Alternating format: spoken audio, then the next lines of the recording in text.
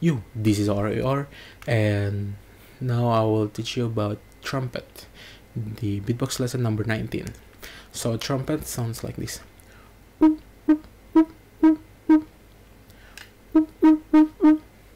It's actually simple, uh, it just do the whistle position, but instead um, pushing the air through the middle of your mouth, you push the air from your cheeks. So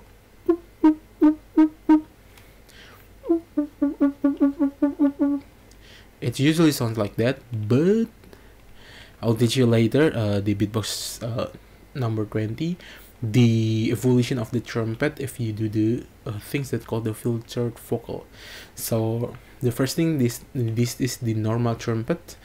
Uh, it's usually used by uh, supernova or footbox G. And so uh, there are other uh, type of the trumpet the second type uh, usually used by his uh, like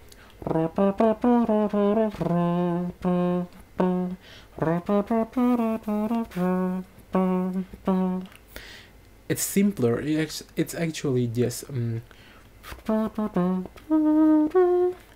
doing the melody but where you with your mouth closed and choose one of your side of your mouth the dominant one um, to uh, make that sounds uh,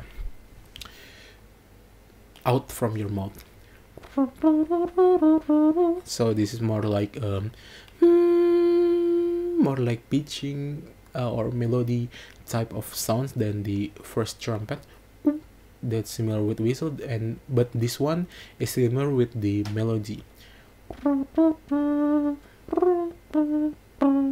sounds like that.